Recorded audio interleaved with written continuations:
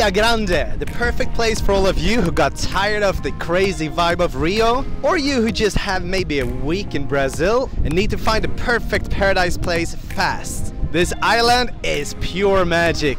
Follow us on a journey along the whole island. Here we go.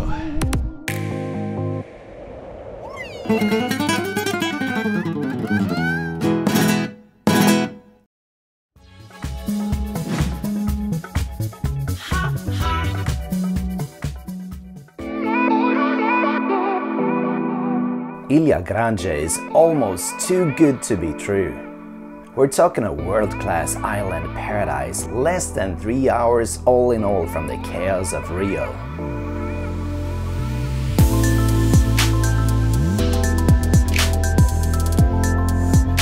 Is this a traditional way of painting boats here? Yeah, man. Yeah?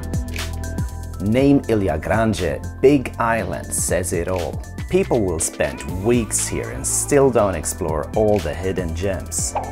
We made it to 7, 8 of them, and then there's still hundreds of islands scattered nearby. Leaving with bus from Rio, it will take about 2 hours reaching the town of Mangaratiba, where the boats are coming in on a busy schedule. This is where you get a first glimpse of what you're in for. Boat ride is a thrill and will take less than an hour.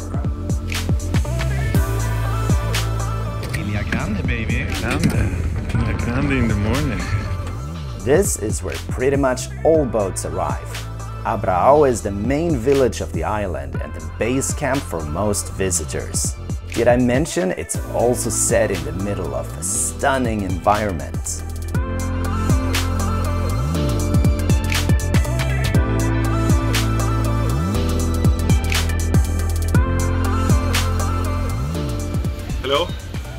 Put me through to Air France, please.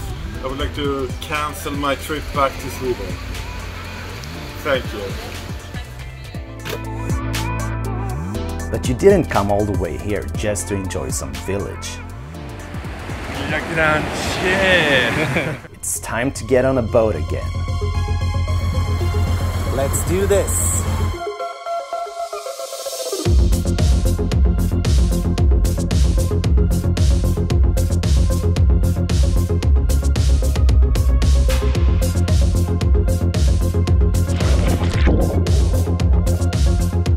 One of the absolute musts is to spend a day at the world famous Praia de Lopes Mendes. And however beautiful this beach might be, it's actually not the one we're going to. We're in for something even better.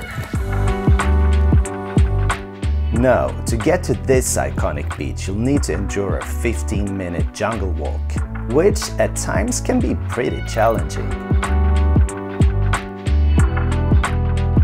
Yes, this is starting to turn from jungle to a beach. There it is. This is quite a big beach, all right. A Caribbean wide. Yeah, it really feels like you're in the Bahamas rather than Brazil.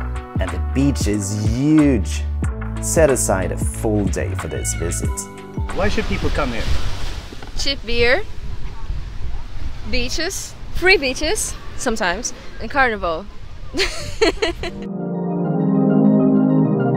Uh, sunscreen, Ola, ever heard of that? You simply don't come closer to the Caribbean in the south of Brazil than this.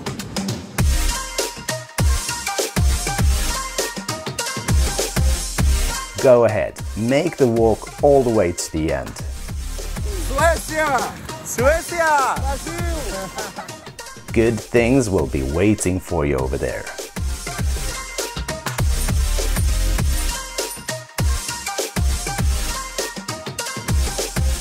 Next up, another Instagram favorite, Ponta da Piedade and its double beach.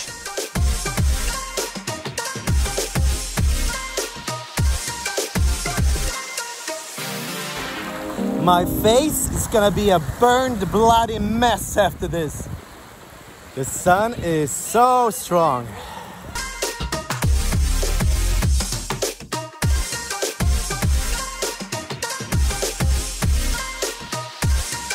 This is an excellent place for a cold beer in the sun.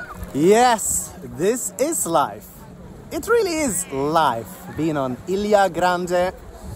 Such a beautiful place. I'm humbled. Enough of my nonsense. Let's give the word to local expert Maria Teles. We should come to Brazil because there are a lot of places, museums, uh, beaches, and that's it. so let's return to that base camp for a second. Don't forget to actually spend some time here.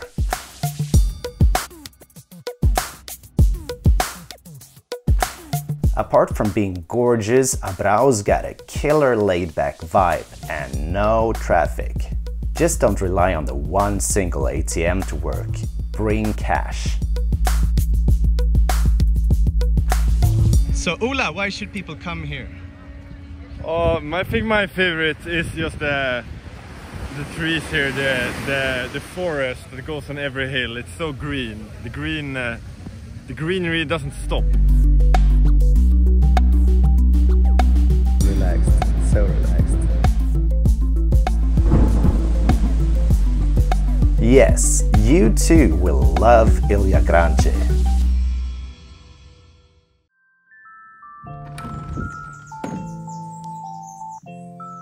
Wherever you choose to stay, you will find yourself surrounded by lush nature. And considering how prices have been dropping in Brazil, treat yourself a little. Sure, Ilha Grande is considerably more expensive than most parts of this country, but this is not a place to be cheap. This is seriously a killer island and I can really recommend this hotel, whatever it's called. And out there, adventure is waiting.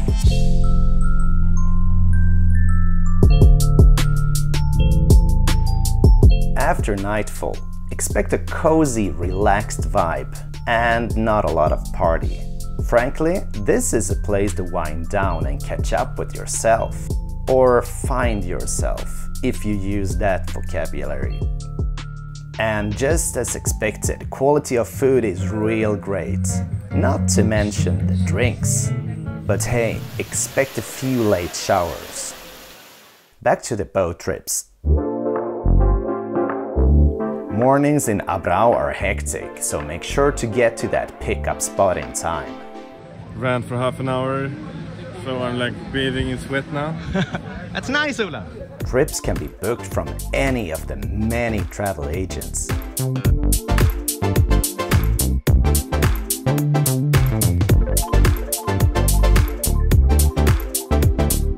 Hello and welcome to yet another beach. Yes, welcome to the number one Instagram beach, famous for its curved palm tree.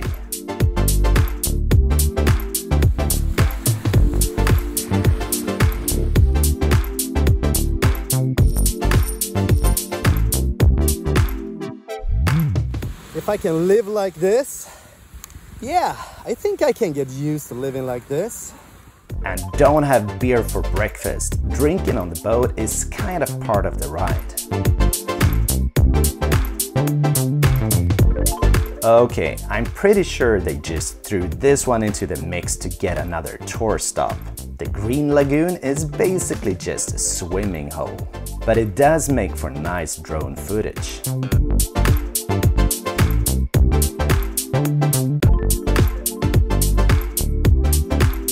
Better up is the nearby famous Blue Lagoon, awesome for swimming, snorkeling, and more drinking. Thank you.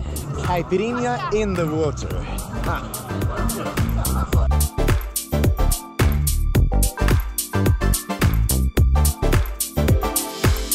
Also full of unbelievably big starfish. Just be gentle and keep the little fellows underwater. I'm giving the Blue Lagoon one out of five stars. No, no.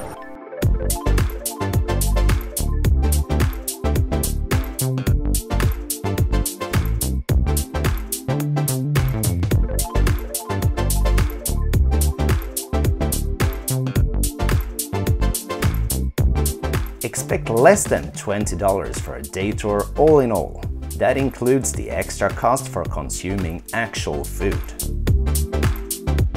And there's more than just beaches. At least there's a great waterfall and a nice scenic jungle lake.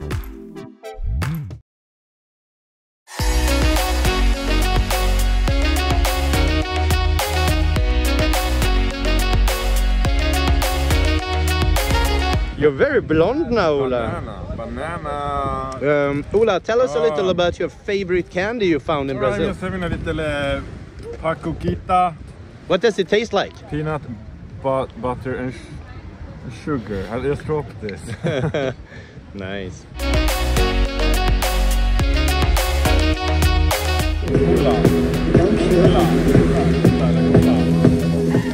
Richard, uh, have you been able to find a find a light through this trip? I don't really need a lighter. I'm just walking around like this.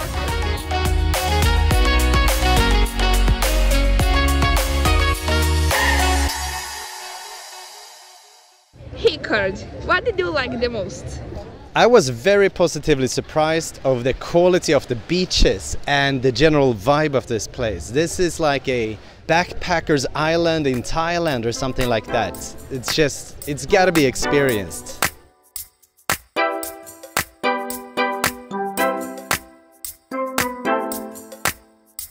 That's all folks, three days on Ilha Grande. This special little guide brought to you by the Swedish Gringo.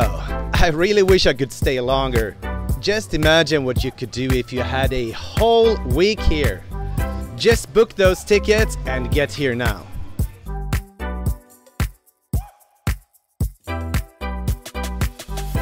Thank you for watching. More quality stuff coming soon.